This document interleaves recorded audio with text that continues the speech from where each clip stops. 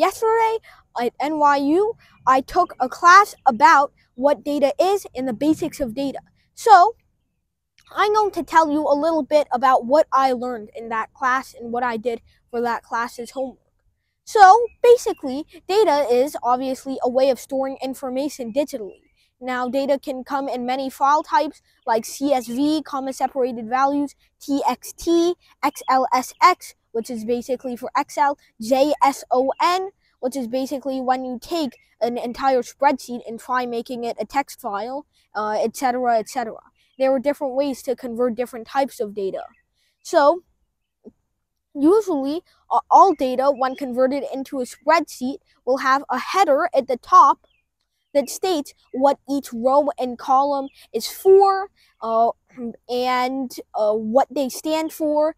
And there's usually only one header, and there's only a need for one header.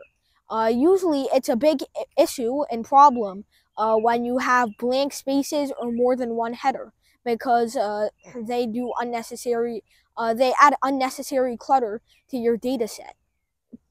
So, uh, after that, you can do uh, a lot of statistics with uh, the different values uh, in your data set. Now, for my homework, I was supposed to uh, talk about a data set, uh, tell about why it's interesting, and how it could possibly be biased. And what I chose was the data set provided by NYC Free Data about civilian complaints on police, which, to my surprise, is still being updated to this day. So, simply unbelievable because hundreds of complaints come in every day from a police force of about 40,000 officers, the largest uh, for any city.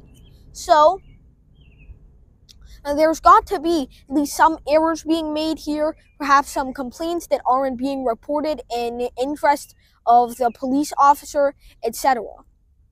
Uh, so there certainly could be a lot of bias going on here.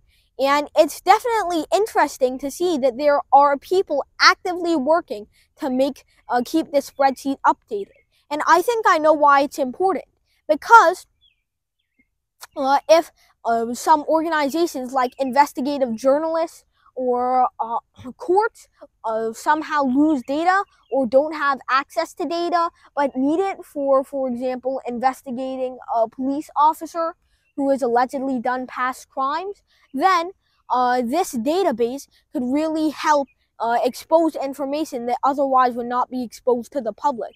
And it could uh, and it could uh, help uh, identify the track record of people who are coming into court uh, who have been former police officers.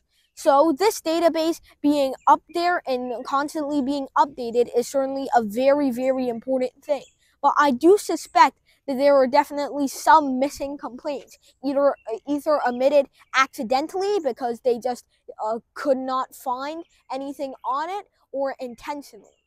So uh, that's it for working with data. Thank you, everybody.